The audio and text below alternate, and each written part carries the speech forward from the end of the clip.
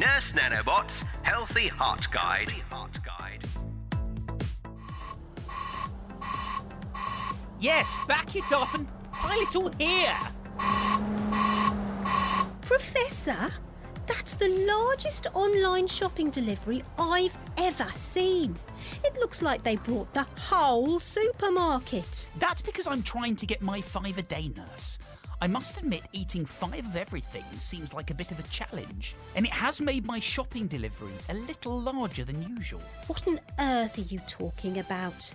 Getting your five fruits and vegetables a day shouldn't mean you're eating more. That's where you're wrong, nurse. See, for breakfast, I'm having five glasses of juice, five bowls of cereal, and five bananas. For lunch, five cheese sandwiches, five packets of crisps, five cans of cola, and five apples. For my afternoon snack, Professor, if you eat all of that, you'll go pop.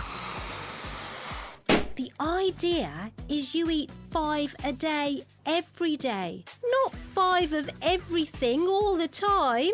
It's really simple. Just make sure you eat at least five portions of a mix of fruit and vegetables. That way, you're making a great start in healthy eating, which is great news for your heart.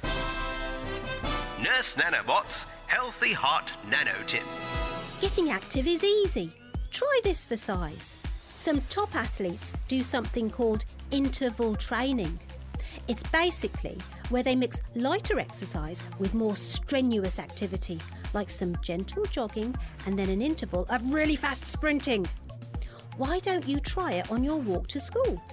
Walk along and then get an adult with you to set you a target, such as the next lamppost. When they say go, you have to sprint as fast as you can to the target.